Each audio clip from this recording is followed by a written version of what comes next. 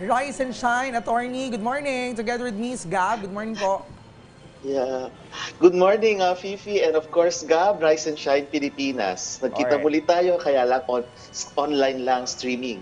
Alright. Ah, Attorney Nick, um, syempre no, hindi naman pamilyar yung ating mga manonood Yes. sa, sa sa trabahong pagiging spirit questor, no? Kwentuhan mo naman kami, ito ba ay trabaho, sir, or ah, passion, or ito ba ay ano, gift or talent, Attorney Nick? Uh, it is a gift at saka ito ay isang passion, okay? Kasi may kakayanan kami na makakita ng mga kaluluwa at uh, ginagawa pa na namin ito para makatulong sa mga kaluluwa na makatawid papunta sa liwanag. Yun nga lang, hindi kami nakiki... ah, na, ano to, yung, yung Pilipi, kami yung nangunguna, hindi ganon. Kung hindi, kami yung sinasangguni ng mga ah, pamilya kung sakaling sila ay nababagabag ng mga kaluluwa buwibisita sa kanila o yung mga taong may nararamdaman na kakaiba, doon lang kami pumapasok. So ito ay isang parang mission ah, kasi mayroon kaming kakayanan or gift. Alam mo, Gab, si Attorney Nick Nangit ay lagi natin kasama dito every year. Okay. Oo. bukod sa pagiging spirit questor, isa rin siya, of course, lawyer and musician. Wow! Oo, so Grabe si napakaraming gift ni Attorney Nick, no? Pero Attorney, ito ah, kasi napansin namin dito ah, sa I mean kapag All Souls Day, no, talagang syempre pinagdadasal natin mga mahal natin sa buhay. And yun nga, may mga naliligaw na mga kaluluwa. La, bakit ba sila naliligaw pagkatapos sila pumanaw? Yes, ah naliligaw sila pagkatas na pumanaw, kadalasan dahil hindi pa nila alam na sila ay patay na. Yan ang ah, common, ah, karaniwang dahilan. Yung bang namatay sila na, let's say, biglaan, na stroke, o kaya na aksidente. Ah, yan, ah, naliligaw sila kasi hindi pa nila alam na sila ay patay na. Yung iba naman, alam nila na patay na sila, kaya lang hindi pa nila matanggap. In denial pa sila. Kaya sila nagpaparamdam, hindi lamang sa pamilya nila, kundi maski sa ibang tao. O yung iba naman, naghahanap ng kasagutan kung saan ba sila nandoon, bakit wala na silang ganitong nag, na kakayanan na let's say ah, kumilos or, or yung iba natatakot kasi tumatagos na sila sa mga pader. Yan ang common na dahilan.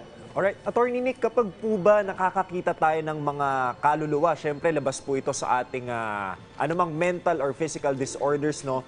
Ano po ba ang ibig sabihin nun, Attorney Nick? Konektado po ba tayo dun sa kaluluwa o katulad ng mga napapanood natin, meron ba tayong nagawang masama dun sa kaluluwa kaya siya nagpaparamdam sa atin?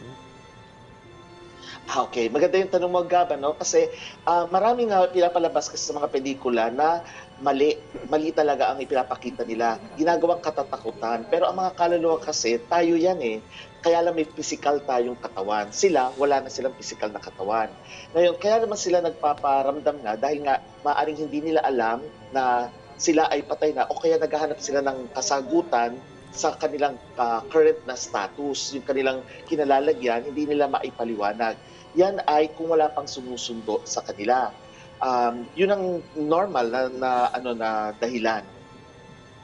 Alright, ah kung sakali po no, na makita ngayon si Gab, hindi, biro lamang po. Yung mga may third eye lang po ba ang may kakayahang makakita ng mga kaluluwa o kahit mga ordinaryong tao po? Kasi yung iba, may, na- meron nakikita, parang ano lang siya, white or black lang. Minsan, kapag sa mga bahay, pupunta Yes. or kung ano mang place. Oo. Ah, maganda yung tanong mo, no? Kasi hindi lahat ng tao ay ah, may kakayahan na makakita ng kaluluwa na buo. Okay? Ibig sabihin, ah, pagka ikaw ay highly gifted o yung tinatawag na sensitive, sensitibo ka, talagang makikita mo sila ng buo. Subalit, marami sa atin, in fact, lahat tayo may kakayanan eh. Iba't iba lamang antas. May iba na talagang kitang-kita ng buo, parang tao. Yung iba naman nakakita ng kagaya na sinabi mo nga, Fifi, eh, guhit lang o kaya anino. Pwedeng puting anino o kaya pwedeng itim, ano? Mak- na dumadaan lang. Parang usok, no? Kaya lang, um, nasa sa atin na yan kung tayo ay ma, na sense natin sila. Parang sa ano rin yung television or sa radyo, no? Merong frequency na tinatawag. So sila, let's say sila yung mga transmitter, tayo yung receiver. Kung hindi tayo naka-tune in sa kanilang ah, frequency, hindi natin sila mapapansin. Pero kapag pareho yung frequency, then makikita mo, makakausap mo pa nga. May mga taong may kakayanan talaga dahil highly gifted na sila. Samantalang yung iba, ah, karamihan, hindi nila alam. Ah, pero nakakaranas tayo niyan. Minsan, di ba, yung ah, paggising mo, nakalimpungatan ka, bigla na lang, uy, parang may dumaan. Pagtingin mo ulit, wala na. O kaya minsan tayo ay nagtatrabaho, tapos biglang kinikilabutan tayo ng walang dahilan, ah, feeling natin meron tayong kasama or lang sa po atin, yun, it's attorney. because Oo. yan yung third eye na sinasabi. Alright. Attorney, speaking of third eye, no, kahit na tayo ay naka-virtual interview, mula po dyan sa kinalalagyan nyo, attorney, kunwari dito sa studio, may nararamdaman ba kayong Yes. frequency? Halimbawa. attorney? Oh, yeah. Yes, yes. Kasi um, ang frequency naman is ano eh, ah, kapag may gift ka, na- kaya mong ah, mag-tap into the astral plane, so walang time or space yon. Yung limitasyon ng, ng time at saka space, wala. So kayang makita, kagaya nung nasa studio ninyo, kanina tinitingnan ko sa to, ah, nandun pa rin pala, napapad, nasa mga, nasa set ninyo, yung mga Hala. dati pang nakita ko. Sila yung mga tinatawag natin Meron mga dito sa set. resident souls na yun nandyan lang talaga sila, ayaw umalis. Medyo kinabahan ako dun ah. Pero sige, ako tatry ko din. Gusto ko rin kasi magkaroon ng third eye. Ewan ko, ganun yung feeling ko, no? Pero paano ba namin pwede mabuksan namin sixth sense? Kasi panigurado na rin sa atin eh, ah, marami yung parang feeling nila may nakita sila pero wala talaga. I mean, ah, di- sometimes this is being invalidated eh. Alright, in, in a way, meron po bang paraan? Yes, meron. Um, yun nga lang kasi, sabi nga natin para sa pelikulang Spider-Man, ano, with that gift comes great responsibility. So, hindi, at saka hindi ka pwede maging choosy na kung ano lang gusto mong makita, yun lang ang magpapakita sa'yo. Kasi pagbukas na yung sinasabing third eye, marami kang pwedeng makita. Maski ayaw mo, pwede mong makita. At hindi lang yon talagang ba- baka maging ah, mababagabag ka kasi maya't maya ay lalapitan ka. Hindi ka maka-function normal. Normally, ano? Ah, pero pwedeng buksan kung gusto mo. Ah, kasi nga lahat tayo meron. Kaya lang kasi yung educational system natin ay hindi ganong uh, ini-stress kasi or ini-emphasize yung ah, logical side, side ng ating mga brains o yung tinatawag nating ah, left hemisphere. So hindi natin uh, napapinapansin na. Samantalang yung iba na nasa creative ah, field, okay, yung mga ah, writers, performers, actors, sila yung mas sensitibo sa emosyon. Kaya mas lalo nilang nasisense. Mga nagsasabi po na matakot ka na sa buhay, wag lang sa patay. Pero dapat din po ba tayong matakot sa mga patay? Meron po bang ah, mabubuti at masasamang kaluluwa at may kakayahan ba silang saktan tayo, Attorney Nick? Okay. Magandang tanong mo, no, Gab, kasi um, mali kasi yung conception na good or bad ang mga kaluluwa. Hindi. Dahil parang tao rin yan, wala lang ang physical na katawan.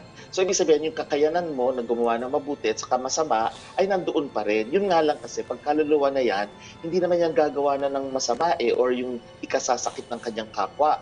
Walang ganon. Sa mga pelikula lang yan. Kalokohan yon na pinapakita nila. Kasi kaluluwa, wala na nga silang physical na body. Pag ikaw ay nilapitan or kaya kinalabit ka, dahil nga bago pa lamang sa kanila yung estado na yon, eh parang ang dating sa tao ay tinulak. Pero hindi naman sila nanunulak. So ang akala naman natin, sinasaktan tayo pero hindi sila nananakit. Sila ay parang tao rin nga. Ah, normally, kung ano sila nung buhay, ganun pa rin sila kapag sila ay namatay.